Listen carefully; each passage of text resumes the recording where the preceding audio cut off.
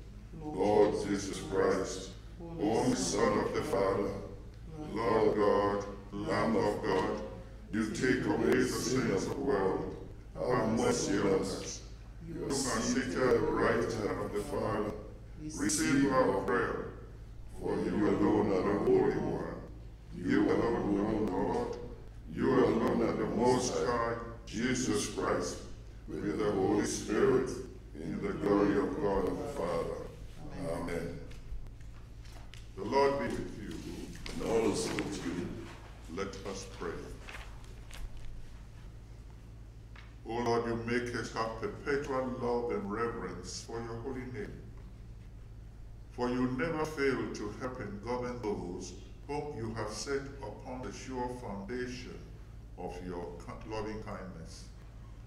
Through Jesus Christ our Lord, who lives and reigns with you and the Holy Spirit, one God, forever and ever. Amen. Amen. Please be seated.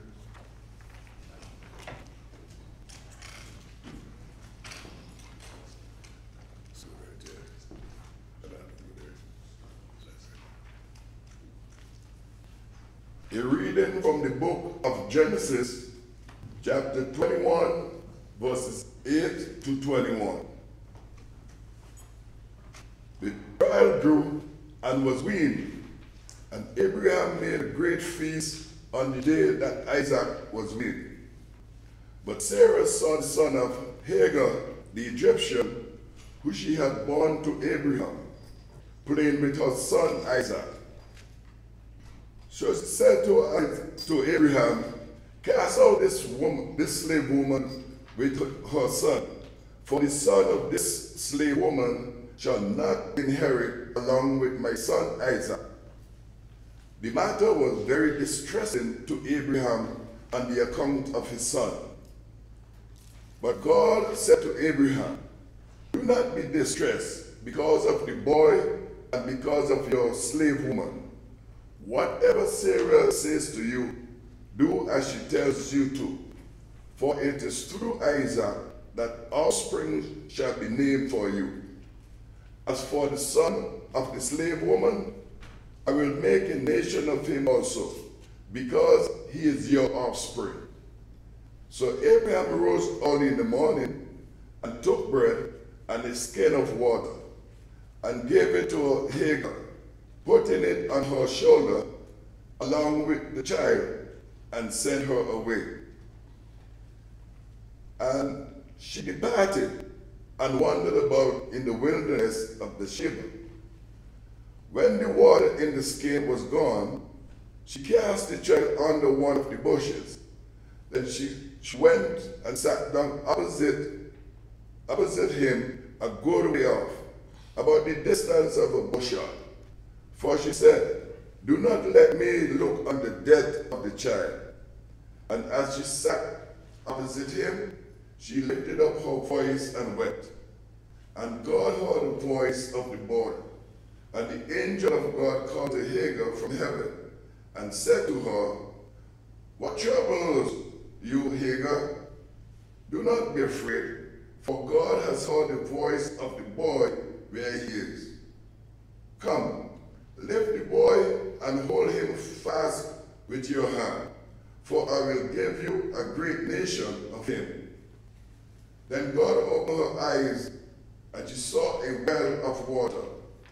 She went and filled the skin with water and gave the boy a drink. God was with the boy, and he grew up. He lived in the wilderness and became an expert with the bow. He lived in the wilderness of Paran, and his mother got a wife for him from the land of Egypt. The word of the Lord. Thanks be to God.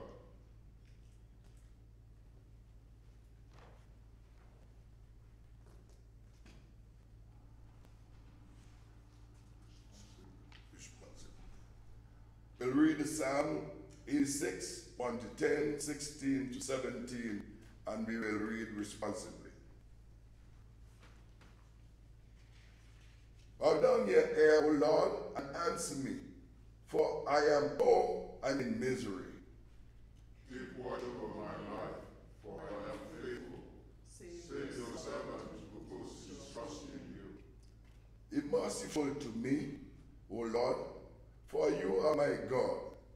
I call upon you all the day long. Pardon the soul of your servant, for to you, O Lord, I lift up my soul.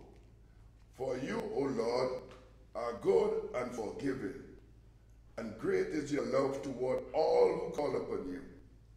Give ear, O Lord, to my prayer, and attend to the voice of my supplications. In the time of my trouble, I call upon you, for you will answer me. Among the gods, there is like you, O Lord, nor anything like your works. All nations you have made will come and worship you, O Lord, and glorify your name. For you are great, you do wondrous things, and you alone are God. Turn to me and have mercy upon me. Give your strength to your servant, and save the child of your handmaid. Show me a sign of your favor, so that those who hate me may see it and be ashamed, because of you, O Lord, have me and comforted me.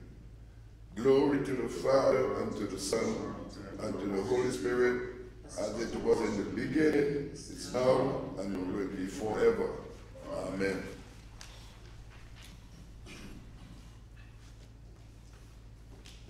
Reading is from letter of Paul to Romans, chapter 6, 1b to 11. Should we continue in the sin in order that grace may abound? By no means. How can you who died to sin go on living in it? Do you not know that all of us who have been baptized into Christ Jesus were baptized into his death? Therefore, we may have been buried with him by baptism into death, so that just as Christ was raised from the dead by the glory of the Father, so we too might walk in newness of life. For if we have been united with him in a death like this, like his, we will certainly be united with him in his resurrection like his. We know that our old self was crucified with him so that the body of the sin might be destroyed, and we might no longer be enslaved to sin. For whoever has died is freed from sin. But if we have died with Christ, we believe that we will also live with him. We know that Christ, being raised from the dead, will never die again. Death no longer has dominion over him. The death he died, he died to sin once for all. But the life he lives, he lives to God. So you also must consider yourselves dead to sin and alive to God in Christ Jesus. The word of the Lord.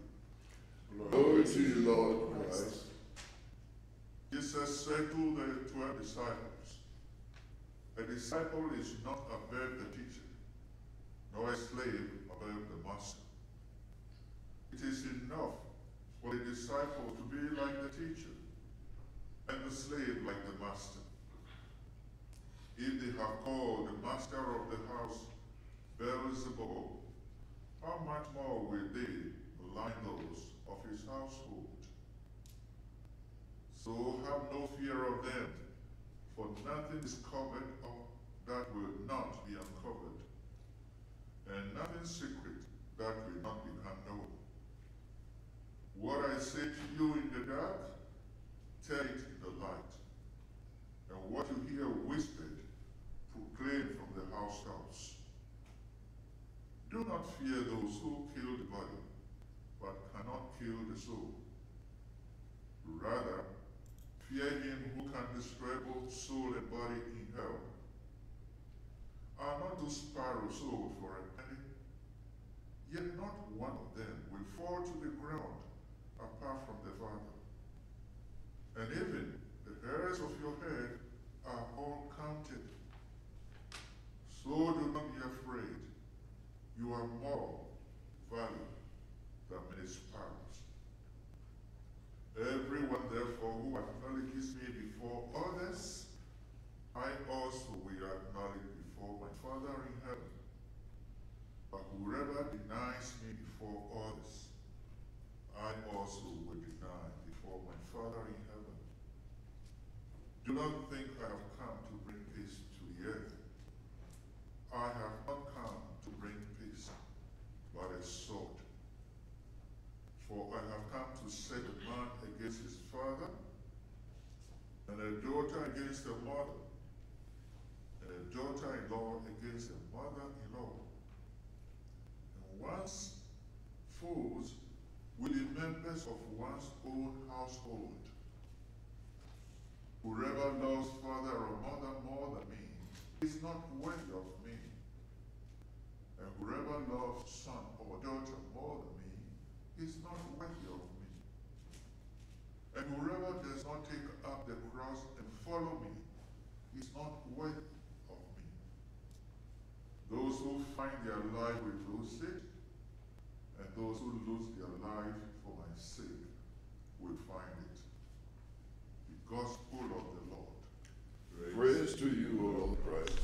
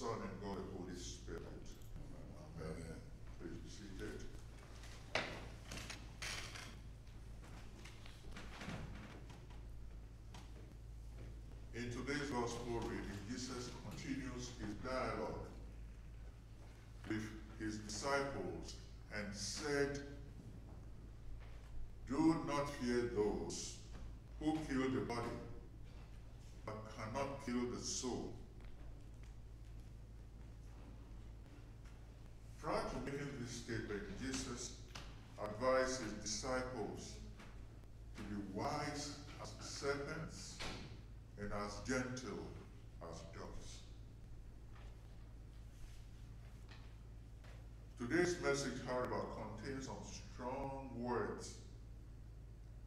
He said, Do you think I have come to bring peace on earth? I have not come to bring peace, but a sword. For I have come to set a man against his father, and a daughter against her mother, and a daughter-in-law against her mother-in-law. one's own foes will be members of one own household. All these things are happening today. And the question is, why? In some families today, including the church family, there is so much family feud Sometimes the very people we love and care about so much are the same ones who hurt us most. In any event, where did the disciples get the courage to stay with Jesus after hearing such grave warnings? Who would accept a job with such serious risk factors? And who would want to work in such a hostile and unsafe environment? The disciples were all good and decent people. But all of them, except John the Divine, were executed because they always spoke the truth boldly. And their messages were hard for people to accept. They usually spoke about the consequences of the, our choices and the lifestyles of the people. And some people cannot handle the truth. And therefore they kill the messenger to silence their conscience. Sometimes life is not fair.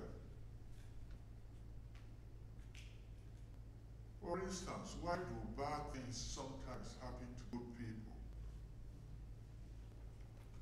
Why do people who always strive to do what is right and pursue a life of honesty, decency, and integrity sometimes encounter host, hostility and persecution? I believe it is because there is a constant battle, or call it war, between good and evil. And evil is real. Peter warns us in Peter, 1 Peter chapter 5, verses 8 and 9, as to how we should act the face of evil. He said, Be sober, be watchful. The devil, your adversary, prowls around like a roaring lion seeking someone to devour. Resist him firm in your faith. When we watch the daily news on television these days, it seems like evil always triumphs over good. It is very troubling to see how good and decent people are sometimes treated like common criminals, Why wicked and bad people who are always telling lies are hailed as heroes. We must, however, never be deterred or discouraged by these injustices in society because God will always have the last word. We must continue our efforts to pursue spiritual excellence and righteousness, which are more important than temporary physical discomfort. Jesus said, Do not fear those who kill the body, but cannot kill the soul. Rather, Fear him who can destroy both soul and body in hell. In a novel by John Updike, who was described as a sophisticated infidel, asked a guest at a cocktail party this question Why do you go to church? The guest replied, Because I'm a coward. I grew up in the church. And my parents' ghosts are there. And when I die, I want to be buried from the church so that I can join my parents in heaven. Of course, people go to church for a variety of reasons. But no matter what our motivations are, our primary duty is to confront evil wherever we are and correct the wrongs in society and pursue righteousness. Christians are not followers. We are supposed to be leaders. We must therefore strive hard to lead and free those who have been enslaved by the devil.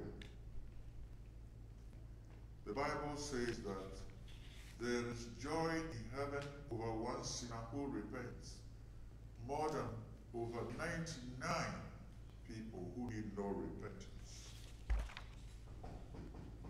Most preachers would prefer to be safe and so they would much rather preach the love and compassion of Jesus Christ and simple faith, but not the hard facts people need to hear to enable them to confront evil and win their spiritual battles. Christ calls on us time and time again to make difficult choices and sacrifices for his sake. Because as the saying goes, no gain, no gain. Nothing worthwhile in life comes easy. Life can be good if we play by God's rules, by treating others as we would want them to treat us, and by keeping our hopes alive, and also by trusting the goodness of God. One day, all of us will die of something. But until that day, when we exhale our last breath, we must put our destinies in God's hands.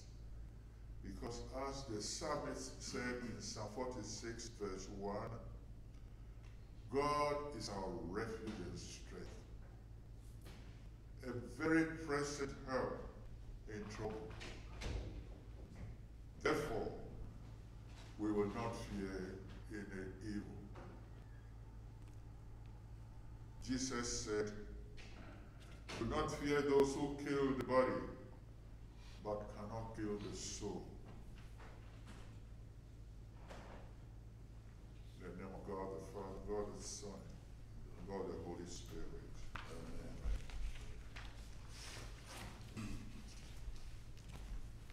Let us stand up to profess our faith in the Nicene Creed.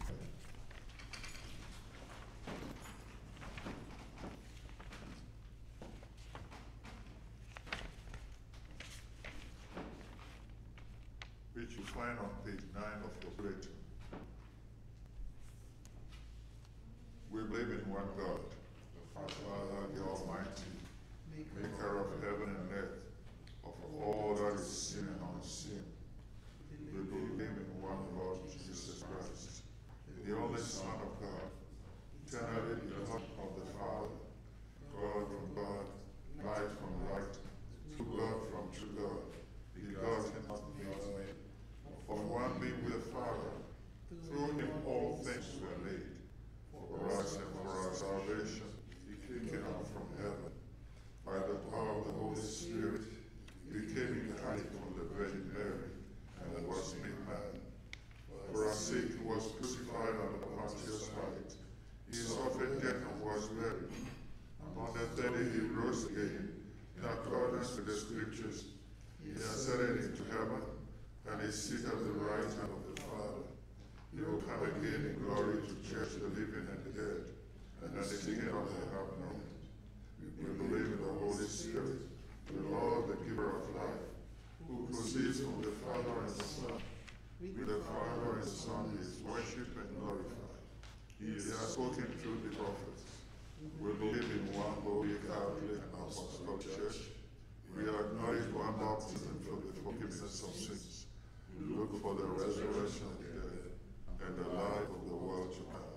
Amen. Let us kneel down for the prayers of the people.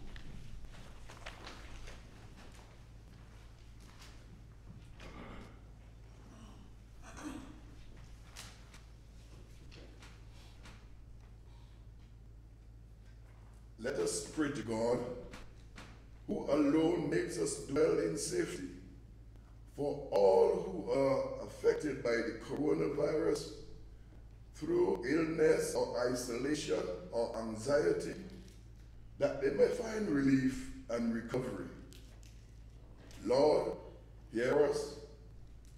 Lord, graciously hear us.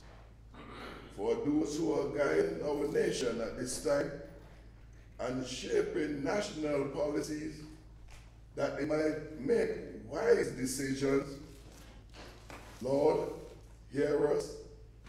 Lord, graciously hear us. Doctors, nurses, first responders, medical researchers, and all healthcare workers, that through their skill and insight, many will be restored to health. Lord, hear us. Lord, graciously hear us. For all essential workers, whose services help to sustain us and without which we could not function, Lord, hear us. Lord, graciously hear us. For the vulnerable and fearful, for the gravely ill and the dying, that they may now know your comfort and peace, Lord, hear us. Lord, graciously.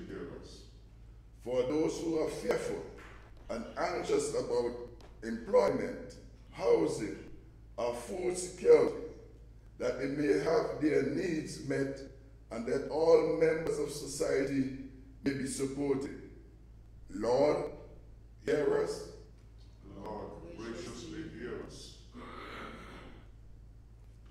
We pray for our sick and shut especially Liam Stoffel, Ronald Ian Hope, Victorine Gravel, Judith Adams, Judith Davis, Juanette Bangura, Florence Benham, Alice Johnson, Robert John, Dream Marsh, Emmanuel George, Avril George, Ralph Dove, Julian Caesar, Arlene and Matthew McKenzie, Theophilus Caesar, Shirley Rodder, Beatrice Briffel, Doreen McKenzie, Lauren McKenzie, Alex Bentic, Beatrice Coker, Kian KB, Morris KB, Anita KB, James KB, Sheeta Williams, Victor Johnson, and our sons and daughters serving in armed services, especially Michael Highland, Tyrell Crease, James Britell, Murphy Abadi, and our veterans who have served in the armed services,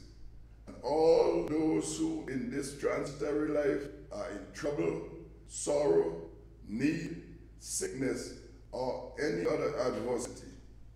We ask your prayers for those who are celebrating their birthday, especially Wisdom Cole, Terived Alako, Tajidad Fadika, June Dove, Simeon Asabro, Lady Murray, Marinda Williams, Monica Sisse, and Carly Biola for Evelyn and Henry Day, and Leslie and Elmira Wilson, who celebrating their wedding anniversaries.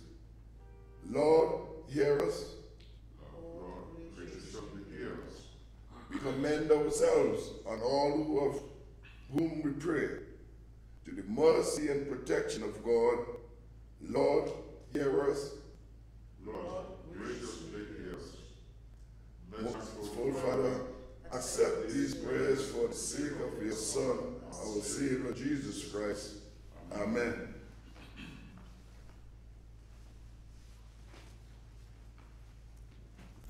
Let us confess our sins against God and our neighbor.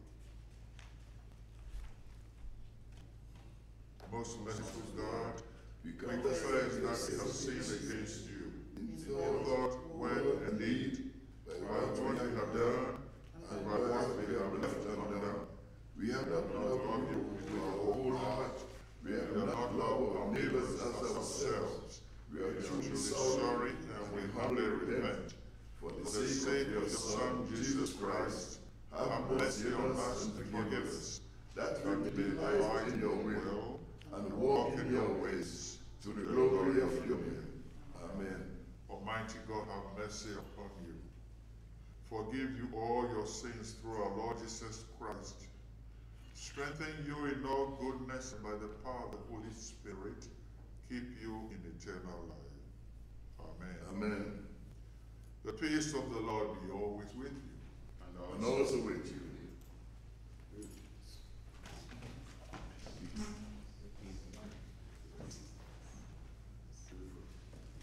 Peace. Peace. Peace. Please be seated. A few announcements. First, I wish all fathers happy Father's Day. And secondly, we got correspondence from the bishop. She is not ready to lift these uh, restrictions yet. So it looks like we shall continue with this streaming service for quite some time to come. And therefore, I just want to make an appeal to all parishioners to contribute generously towards the equipment we use for the streaming. And it is most likely that even after the restrictions are lifted, we shall continue to stream our services for the benefit of the sick and shut-ins. So I urge all parishioners to help to finish buying all the equipment we need for our streaming service. Right now, we need ballpark of about $2,000. In addition to that, continue to keep up your pledges. And also, since we are not here to take a normal offering, send your weekly offering also in the bill to the treasurer um, to help us to continue to keep the church alive. These are the announcements I have.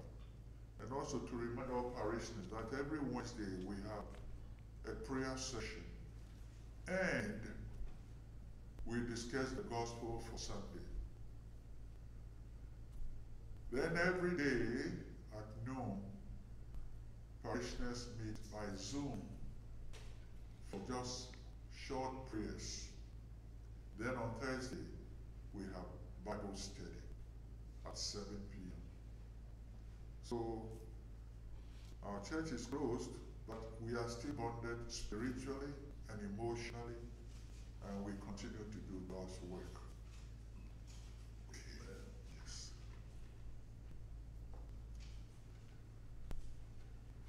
For all electronic and other offerings made during this time of coronavirus, offer to God a sacrifice of thanksgiving and make your vow to the Most High.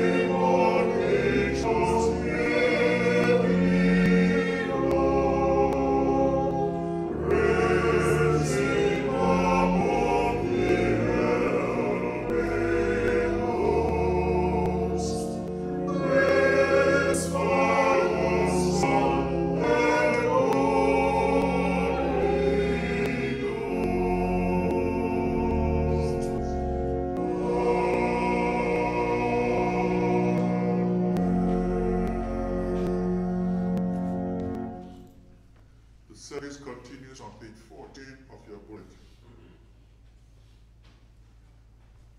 The Lord be with you. Lift up your hearts. We lift them to the Lord. Let us give thanks to the Lord our God. It is right to give him thanks and praise. It is right and a good and joyful thing, always and everywhere to give thanks to you, Father Almighty, Creator of heaven and earth. For you are the source of light and life. You made us in your image and called us to new life in Jesus Christ our Lord.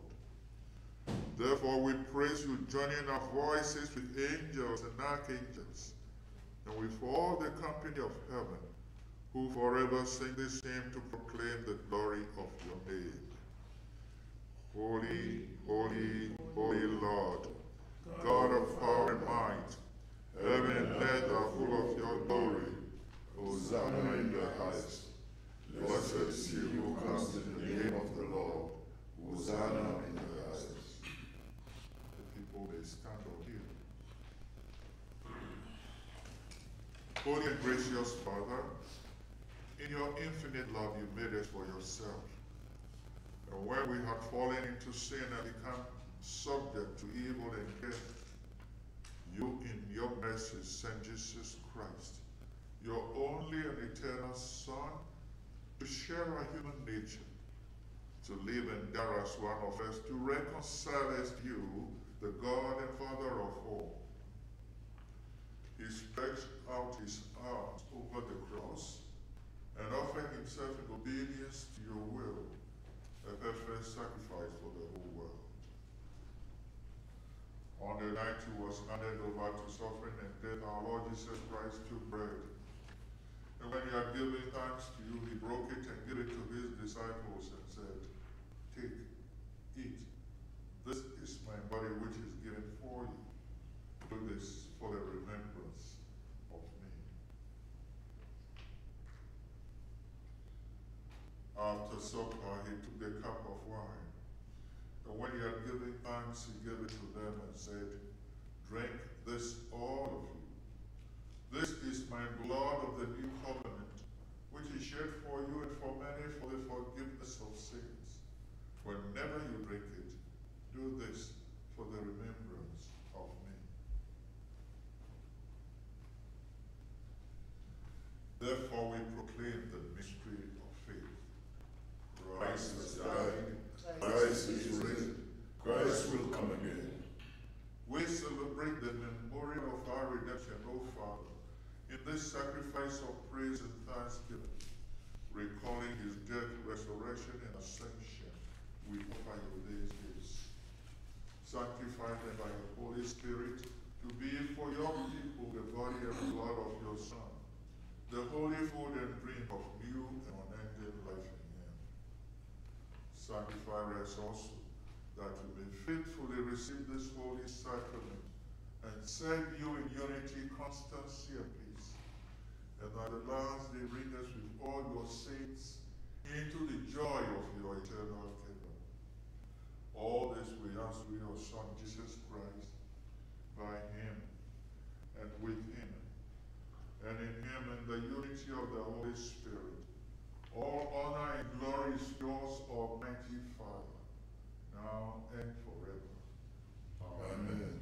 And now, as our Savior Christ has taught us, we are bold to say, Our Father, who art in heaven, hallowed be thy name.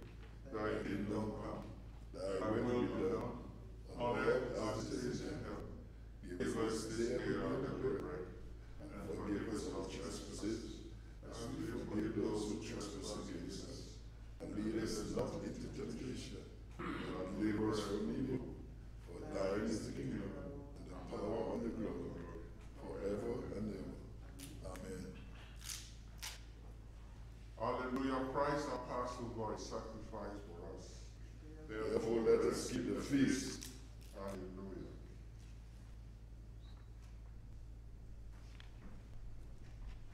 Jesus, Lamb of God, have mercy